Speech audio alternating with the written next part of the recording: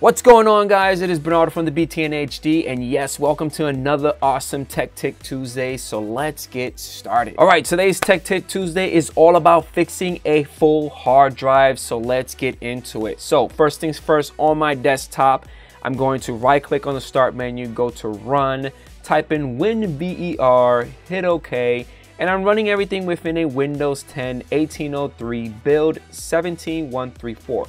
Now the build doesn't really matter because you are able to do this within a Windows 7, Windows 8, and also a Windows 10 environment. But I like to show you guys what I'm using within my environment. If you're running low within your C drive, which we are going to focus on this video, most likely Windows is going to prompt you saying, hey, you're running low on space.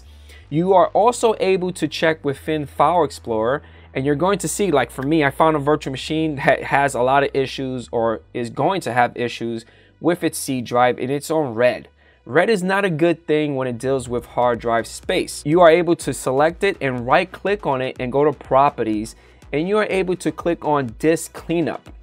Within disk cleanup, it's gonna process, it's gonna start scanning the entire C drive to find what files it could delete for you to free up some space. Now, you're gonna get this nice little dialog box, go over all this stuff. By default, Windows is going to check off what it thinks that you will want to delete.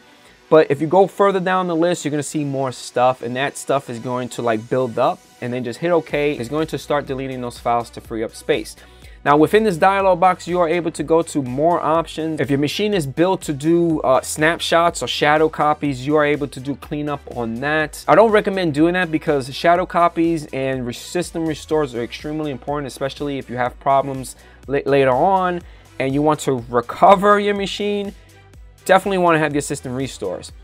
Now, another way is to click on the start menu, start typing in control panel, go inside the control panel, and then go inside programs and features. You're gonna see a lot of install programs within control panel. You're able to sort everything by size. Now within this machine, the biggest thing that I have installed is that Windows ADK, which is actually seven gigs. If I don't want that there, I can actually select it and just click on uninstall to remove that stuff. Now, for those individuals that do not have a control panel, unfortunately, in this machine, I'm still able to use control panel. You are able to just click on the start menu, click on that little sprocket to go inside settings. And from here, you want to go inside apps and within apps, there goes all your apps. You're able to sort it by the name, size, and etc. and filtered by by certain things. Now I'm going to click on the filtered by drop down menu and I'm going to do this PC because it's the C drive. I'm going to click on the sort by drop down menu and click on size. As you can see again, it's going to give me the same thing that I just showed you guys within the control panel.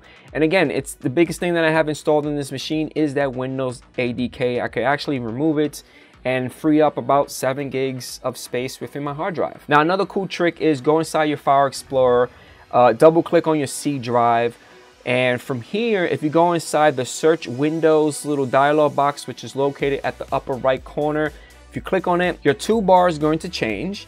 And then you have an option that says size. If you hit the drop down menu, you are able to pick gigantic and it's gonna search your entire hard drive and find what big files you have that you're able to remove. Now, I am doing this within the C drive and it's kind of iffy because, you know, you're going to have a lot of files within your C drive that are very important. I don't recommend you doing this, but I just want to show you guys how the searching feature works. You are able to go inside the C drive users and the name of your computer account, right? Whatever computer account you're logged in, you have a user folder. So within the user folder, do the search option, go to size and make sure you pick the option of gigantic and let it search within your user folder. Remove that stuff to another location like an external hard drive. Get a second hard drive. You could do internal, external. Copy huge files onto the second hard drive. That's the best route that you could do, right? On the second hard drive that you installed on your machine, uh, you are able to install new software. I don't recommend doing this on an external hard drive uh, but if you do insert like an internal hard drive within your new machine, if it's like a PC computer, go for it. If you do install a new hard drive, remember to store your stuff inside that hard drive.